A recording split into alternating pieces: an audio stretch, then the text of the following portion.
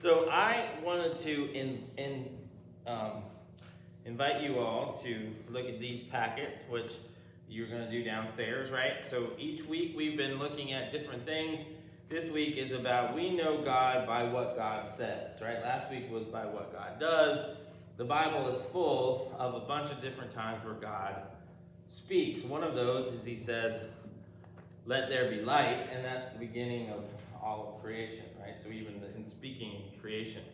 Um, in this package, you have a crossword puzzle that asks questions, and all of these answers and questions have to do with the um, with it with a time where God spoke to people in the Bible, and so the answer is usually the person that God is speaking to. So, for instance, um, God told him to leave Ur and go to a new land where he would be promised. That one? That was tough. That's Abram, right? From Abraham. Um, prophet who, when called, was shown a valley of dry bones. Ezekiel saw them dry bones, right? You remember that one?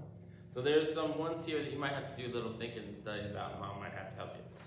Um, the big thing that I want to show you is this. Remember in history class, and you, I think you did this too. We had the, Oh, yeah. we made the walnut ink, right? And we we wrote what was called like the monks in the medieval time. We did illumined pages, and these are some examples of what illumined pages look like. Um, and sometimes they have really kind of neat little Celtic knots. Here's a Celtic knot heart. Here's a Celtic knot cross. Here's a little symbol with uh, interwoven lilies um, and a lion. picture of light? There's a, a picture of a, of a Celtic understanding of a tree of life. We have that in, in our house in some different places. Um, and so the idea is you're going to take this prayer on the back here, expressions of faith, that says, Lord, you have always given bread for the coming day, and though I am poor, today I believe. Lord, you have always given strength for the coming day, and though I am weak, today I believe. Lord, you have always given peace for the coming day, and though of anxious heart, today I believe. Lord, you have always kept me safe in trials, and now tried as I am, today I believe. Lord, you have always marked the road for the coming day, and though it may be hidden, today I believe. Lord, you have always lightened this darkness of mine, and though the night is here, today I believe. Lord, you have always spoken when the time was right, and now, though you be silent now, today I believe, right? So this is the, the sense of, the idea of this poem is you look back on your life and all of the things that God has done, and you let that inform your, tell you about why you shouldn't worry about now, right? God's always come through before, and though it seems like he's not right now, I have faith that he will.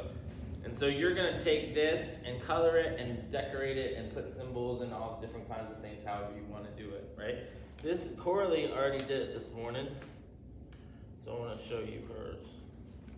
She took and showed there's the kind of the colors are like the rainbow, and she drew um, a hug from her mom and strength and weakness and all of these different symbols on here that informs a little bit more.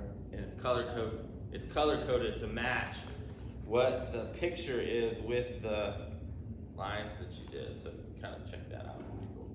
Um, so if you all would do that, and then we'll put them up on on the Facebook group, and people can see, and other kids might be able to see what they might want to do with this project at their home. That sound good? You guys can do that? You want to do that? right? All right, so let's let's pray and we'll thank God for um, all of the things that He has done for us that give us faith and hope in the future. Heavenly Father, we take the words of that expressions of faith and we take them to heart. We think about all the times that you've come through for us. And on times when we're afraid, times when we feel weak, times when we don't know what the next path, next step that we are to take is, we have faith that you've led each of those steps up until this point. You've always fed us. You've always spoken when the time was right. And so we can have faith that that will continue on into the future um, when we need it the most. In Jesus' name we pray. Amen. All right, guys, you want to take these down?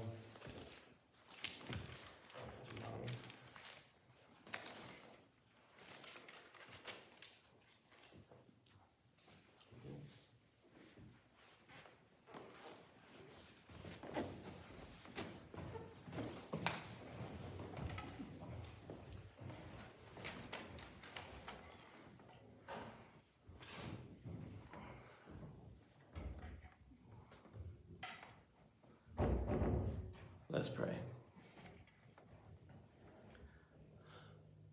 Heavenly Father, thank you so much for this opportunity to study your word, to delve into all of the things that you have said throughout the ages, and to think again about what it is you may even say to us now, or be saying to us now. Help us open our hearts, our minds, our souls to hear what it is that you would be speaking to us this day and all days through your Holy Spirit. In Jesus' name we pray. Amen.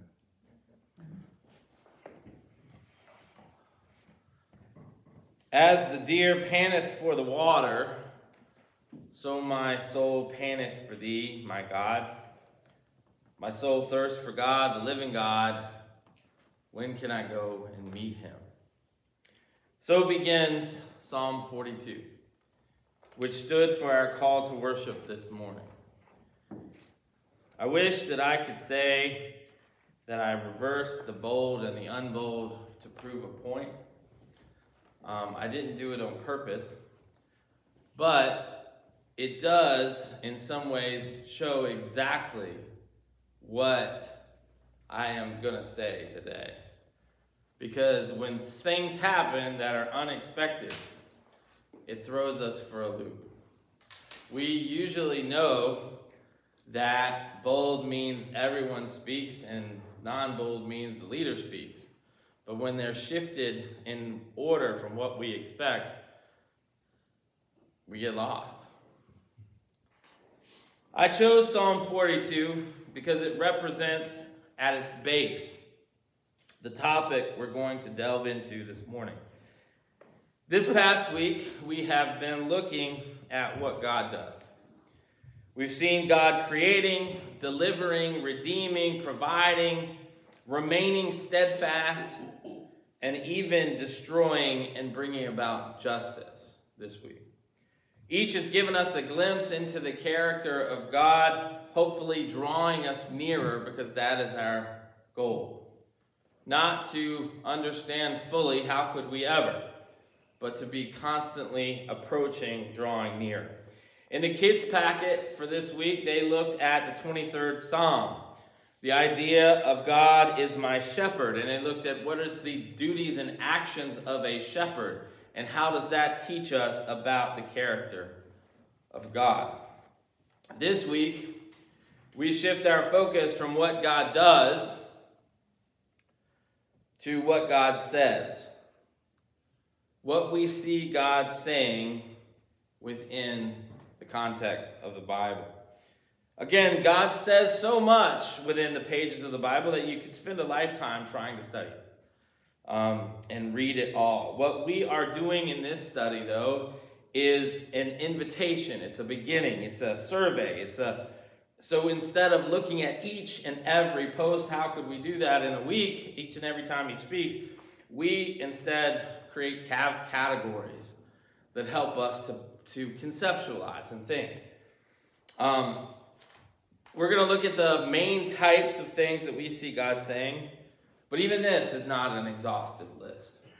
There is much that we're leaving out. Think about God speaking in the Bible, all the times that God speaks.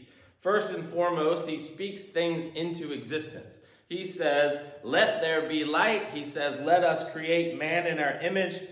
And then he saw everything from that day first to day six, said, This is good. This is very good. All speaking. We'll look at God and the commandments that he speaks. The ten, all of the Mosaic law, everything from be fruitful and multiply to love your neighbor as yourself. Love the Lord God with all your heart, mind, soul, and strength. We'll look at God and the covenants that he speaks, from Noah all the way to Jesus and the cup. We'll look at the words of warning that he gives through the prophets. We'll look at the words of comfort that he also gives through the prophets. And then lastly, the end of the week on Saturday, we'll look at how God speaks to us in prayer still today. And it is there I want to focus this morning. Um, for this is the one that is brought to us in the here and now, in the very much in the midst of our lives, um, no matter where we are, God is speaking still. We asked the question this morning, because I've just made the statement. We asked the question first Does God still speak? Think about the different ways that we see God speak in the Bible audible voice, dreams, burning bush, through angels, through prophets, through an inner voice, all the times that Jesus speaks. And even the Bible itself, we understand to be God's Word. How do these apply to us in our day? Often we hear about, God, about prayer being a conversation between ourselves and God. A conversation, though, is a two way street. Do we find ourselves hearing God in the context of our prayers? Do you hear God? Do you listen? What do you do to listen? If you do hear God, is he ever also sometimes silent? I think our answers to these questions are personal to ourselves. They might be private to ourselves. Our relationship with God might be something that we tend to keep quiet. We think to Jesus' directives about praying in secret. We wonder about the genuineness of people who are constantly talking about how God says, told me this, and God told me that, and God. We sometimes wonder about how genuine that is. We all have different comfort levels with such things and talking about such things. But I think no matter where we are coming from, no matter where we are on that spectrum, we, like the psalmist of Psalm 42, we long, we thirst, we very much need the intimacy of a conversation with God. We need it. And all signs seem to point to prayer, but I don't think prayer is a prescription to hear God. I think rather prayer is a description about what hearing God is. Let me get at, I think you'll get at the difference as we go on. I want to introduce now, though, our lessons. The first one from Matthew, from the Sermon on the Mount, Jesus says this. This is chapter 7, 7 and 8. Ask and it will be given to you. Seek and you will find. Knock and the door will be open. For everyone who asks receives. The one who seeks finds. And to the one who knocks, the door will be open. If we apply this to prayer, it would seem that there must be something actively that we can do to hear God, if that's what we're seeking. All we must do is ask, all we must do is seek, all we, what we, we must do is knock. Ask and it will be given, seek and and you will find, knock and the door will be open. So if we are that deer panting for the water, all we need do is ask, seek, and knock. And our soul will be quenched, and the conversation can begin. There need no be no elaborate setup, no special way of holding your hands folded. not piously clapped together, turned outstretched, uplifted to the heavens. We don't necessarily need to bow our heads. We don't need to close our eyes. We don't need to look upward yearningly like this. There's no special voice that we need to use. There's no breathy introduction like, Father God, speak. There's no magic words.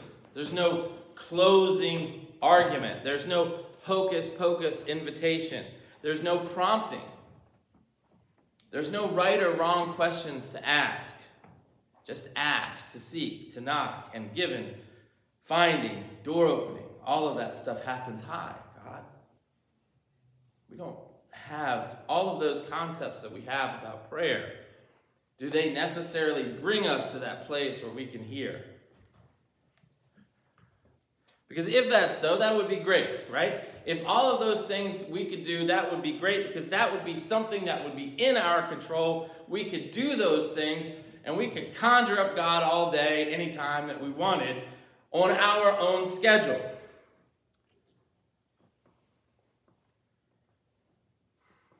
We ask, we seek, we knock.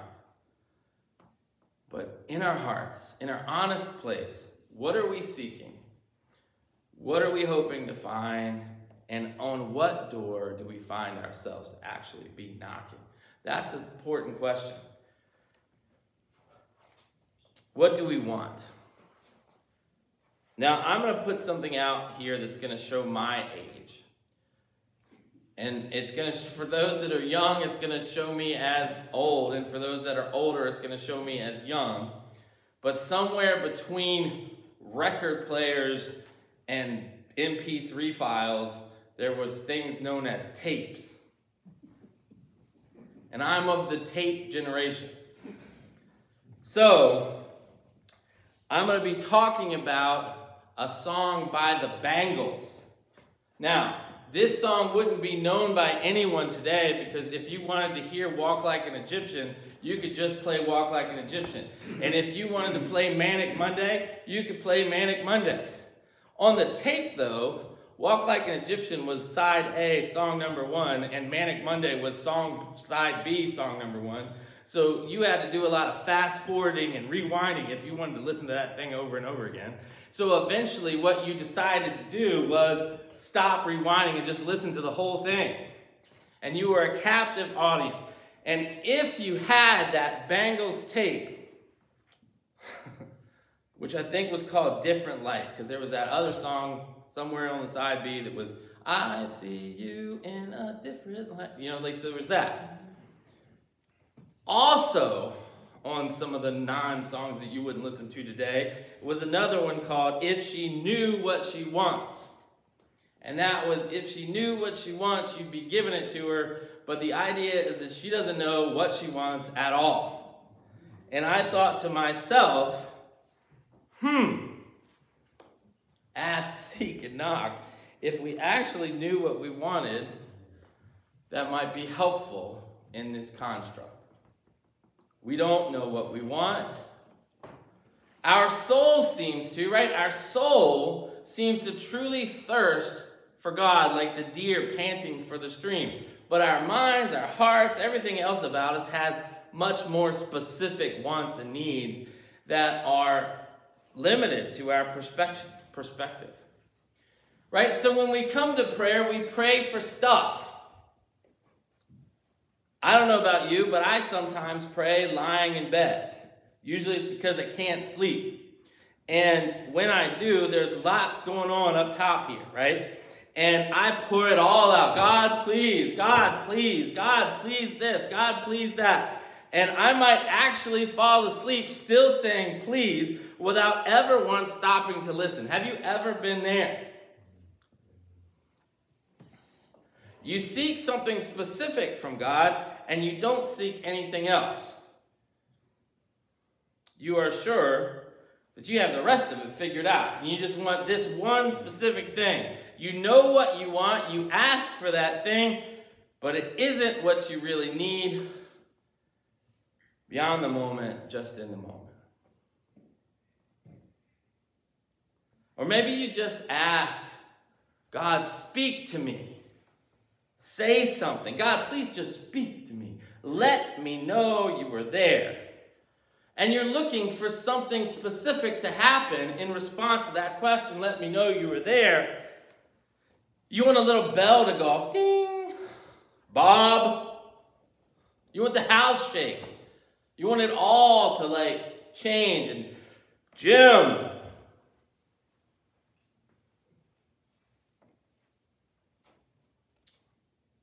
But that doesn't happen.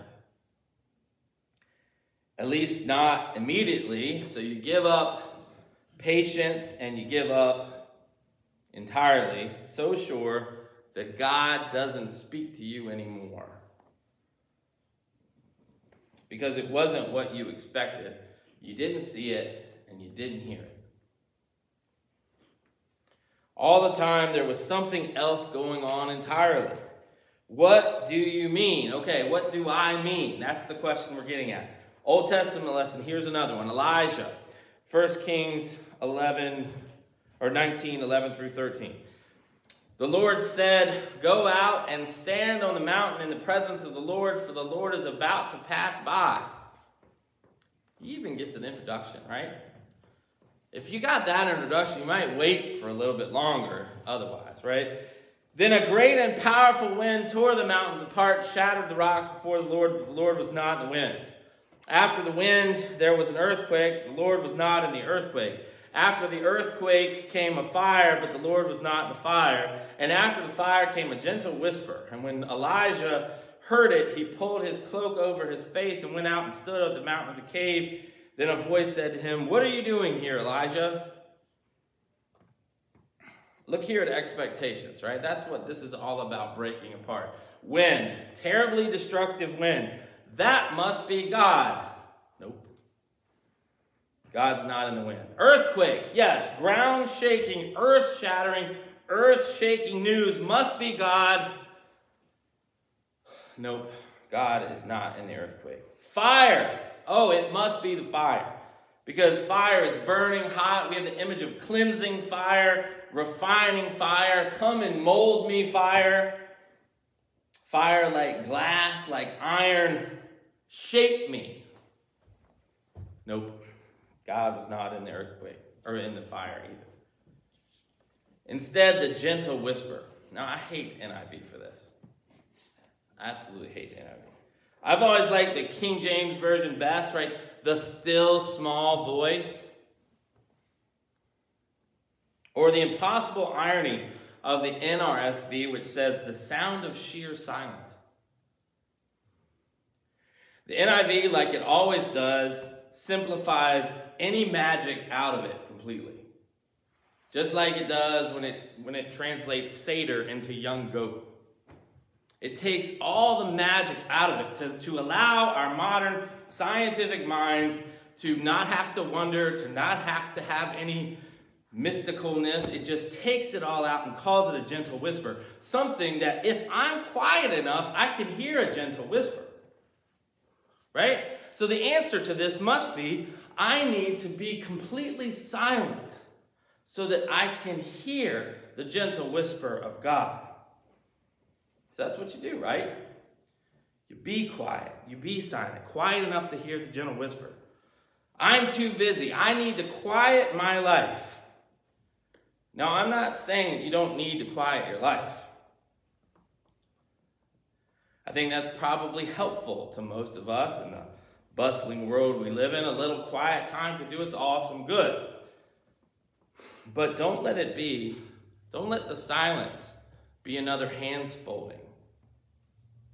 Don't make it be another important step that you can control to make sure that you hear God. Don't let it be another conjuring thing. Don't let it be something to coax God out of his hiding place. Like God is that deer, and if we're real silent, he might come and eat out of our hands. Flip that upside down. Because you can get as quiet as you want, and you will never hear the sound of sheer silence. It has no sound.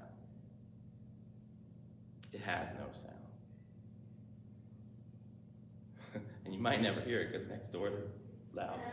Um, that's why I love that NRSV translation so much. The sound of sheer silence because it leaves in the magical, mysterious, elusive character of God that's outside of our definition and it's certainly outside of our methods. I know I've shared this poem before, but I love it. I love what I said when I wrote it. I love what I meant because it's akin to this. This is the should I listen, right? When I shout, shut off all the sounds and there is nothing, left to drown out the nothing, I can hear something. I can't help but wonder if the something I hear is just more thunder that I have to get past to hear something else, something more, right? We, he, we like Elijah, standing there, we're like, was that God? Or is there, is there something more? We question. We, we want, am I doing this right? Right? Am I doing it right? Are my hands perfect? Am, did my heart just shake? Or was what I felt only an earthquake and not silent nor still enough to be true? Right? We're testing, we're, we're judging, we're trying to figure out whether God's speaking to us or not. I breathe, taking it all in, letting it out, you know, because we're supposed to relax. We've been told we're supposed to relax. Something says, get up. Should I listen? Or should I stay here and wait until I hear more? How do you answer that question? These questions. Was that God? I'm not sure. It might have been. Am I doing this right? I didn't get what I expected to get. My teacher told me to do it this way. My pastor said to do it this way. The pastor on TV said to do it this way. My old pastor said to do it this way. Look at what Paul says. Do not conform to the pattern of this world. He said, she said, they said, pastor said, the internet said, this, whatever. But be transformed by the renewing of your mind. Then you will be able to test and approve what God's will is, his good, pleasing, and perfect will. What does it mean to renew your mind? To remove all expectations is what it means to renew your mind. Read. To make it new. Renew. Again, again, again, back to the original. Remove all control, remove all tests, remove all of it. Don't seek the God that you wish to be, Seek the God that is. And become receptive, open, and welcoming to whatever that is. We've had great discussion on the Facebook group. Lots of cool threads, good questions, answers back and forth. One of the posts suggested that our problem of knowing God was due to being to God being infinite and us being finite. He reiterated that this morning. Um, that there was too much distance there for us to comprehend. I've been thinking about that a lot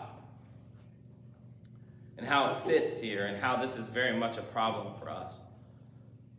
And how what we try to do is make God finite so that we can comprehend him on our terms. And this is where the idolatries come from, right? This is why we put God in a box, because we can understand the box.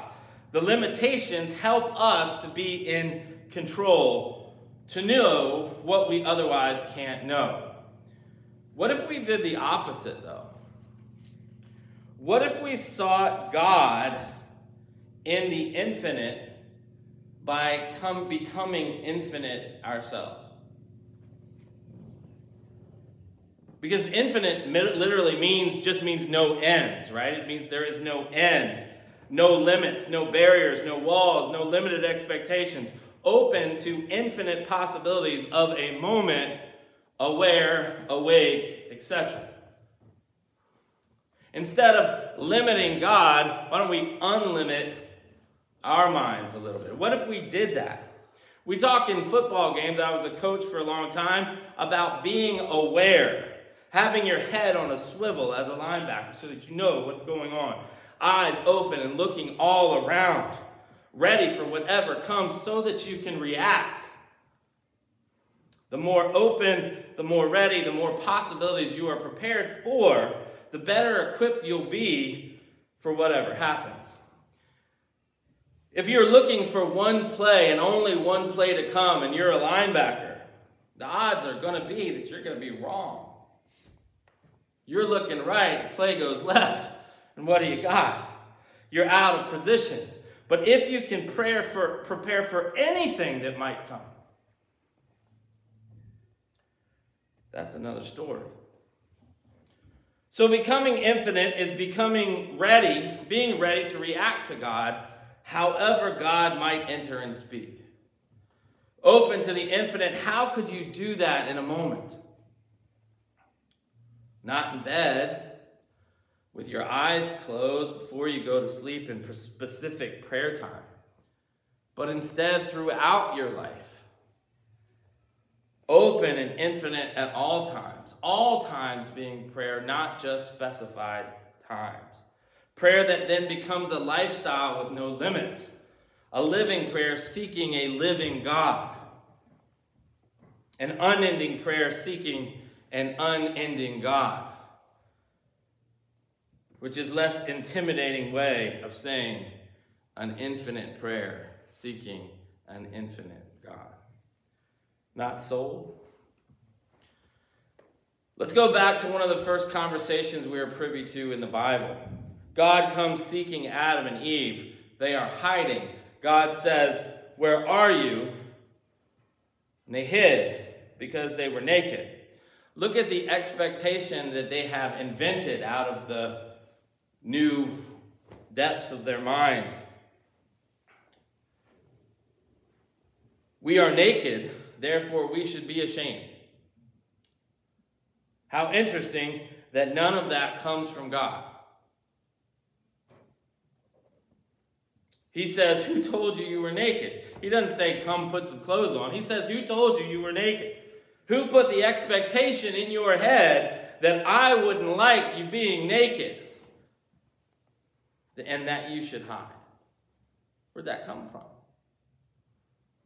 There are a lot, there's been a lot of back and forth discussions about Cain in the group discussions on Facebook as well. What he was seeking in his offering of his first fruits to God. What did he expect? Because he had to expect something because when God gives him the answer, he doesn't like it all that much.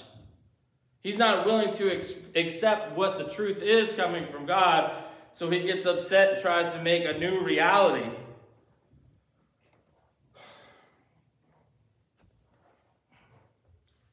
God defies the expectation and catastrophe. The infinite goes up against the finite and expects and shouldn't. I always think, every time I talk about prayer, I need to bring up my favorite example, which is Huckleberry Finn. Widow Douglas told him to pray for some, pray, and whatever he wants he would get. So he prays for some fish hooks, and he still doesn't have any fish hooks. And that's why he doesn't put no stock in prayer. If you go to the internet seeking, how can I listen for God? How can I hear God when I pray? There are 1,000 at least how to's, and they all place the expectation of God in the hands of the reader, in our hands. If you do this, God will show up. If you pray this, God will show up and speak. When God speaks, Will you hear it if it's not what you expect? My dog showed me another sign of this this morning. I throw the ball for her every time down the little hill, but this morning there's a lot of mud at the bottom of that hill because that's where all the water goes. So I decided to throw it in another direction. And she goes bolting down the hill, expecting it to be there. It's not. And where it is, she can't see it. And she won't look anywhere else except down that hill. She's a lab. Not real bright. The truth is, I believe God is speaking everywhere, but we are blind to it because it doesn't fit into our schedule. It doesn't fit into our box. It doesn't fit into our prayer time.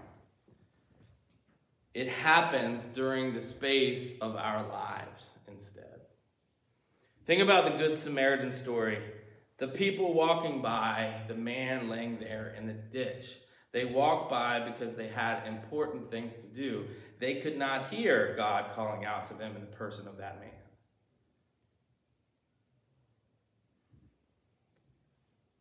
Where else might our ears and eyes be closed? In that kid's packet, they have to illustrate and illuminate that prayer expressions of faith. The last stanza says this Lord, you have always spoken when the time was right. Though you be silent now, today I believe. Why is that an expression of faith? Because I don't get to con- control when God is going to speak and when God is going to be silent. I have to put my faith in everything that has led me to this point, including Jesus Christ dying on the cross and being resurrected. That very thing alone teaches us so much about who God is, what God is about, and how God brings things forward in our lives. You've always spoken when time was ripe. And though you be silent now, today I believe. So you go out and you buy some green bananas, and you want a banana, but they're not ripe yet. And you know if you bite into that thing, it's going to dry your mouth and make you cough. you can't make something that's not ripe ripe. That prayer is about letting go of expectation and being built up instead by faith. Let us know that God is speaking to us simply because we exist and there is existence, right? We might have been able to look past God not being in the earthquake and the hurt and the wind and the fire if we had that initial statement that said, hey, God's going to come by this way, pay attention. We have that. We have that message telling us to be ready for God to speak. We have it. It's there. Let it fill you with faith from every time you've ever tapped into that to now. One of the amazing things in the Bible that I think is true is that if you look at all the times God speaks, most of them, it's not because the person was looking. It's because God showed up in the middle of their lives and spoke to them in an unmistakable way that they could not run from, they could not mistake, they could not whatever. So be patient, have faith, and listen. Our song that we're about to sing is Seek ye first the kingdom of God, and all these things are added unto you I think this could be very much similar to seeking the whole of God and allowing all the details to come from. Let us sing that song together. Um, and I know that it's a little bit blurry on the bulletin copy, um, but hopefully it's somewhat well known to folks. See how it goes.